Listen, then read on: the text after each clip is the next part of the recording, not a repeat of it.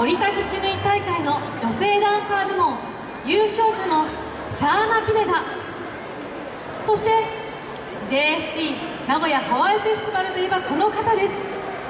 イリマフラスタジオのクムフララニガール・カレーキ・アローさん。本日はお二人のステージに加えテープラ・オテ・ラフラーの主催マリルー・ラフォンさんとそのワークショップにご参加いただいた方々のご登場もあると伺っております。それではお楽しみください。スペシャルステージです。